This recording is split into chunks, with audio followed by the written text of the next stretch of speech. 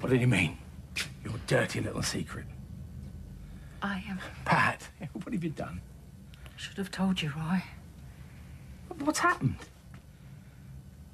I slept with Frank. What? I'm sorry, I'm so sorry.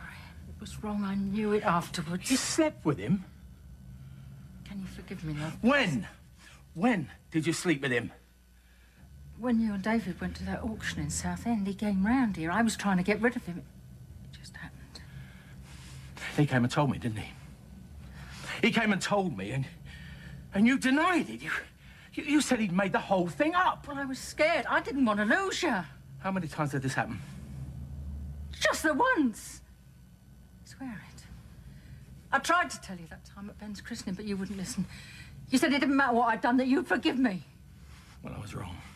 It does matter. Where are you going? Pat, you lied to me. I mean, you made me feel like dirt for deceiving you about Barry. All the time you must have been laughing at me. No, I Everything wasn't. you said about being straight with each other, but having nothing to hide, it means nothing. Roy, I love you. No, and I'm sorry, it's not enough. Roy, don't go, please. Roy! Roy, don't go. Roy, please, I love you!